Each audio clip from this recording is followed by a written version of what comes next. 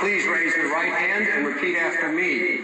I, Barack Hussein Obama, do solemnly swear I, Barack Hussein Obama, do solemnly swear that I will faithfully execute that I will faithfully execute the office of President of the United States the office of President of the United States and will, to the best of my ability, and will, to the best of my ability, preserve, protect, and defend preserve, protect, and defend the Constitution of the United States. the Constitution of the United States. So help you God. So help me God. Congratulations, Mr. President.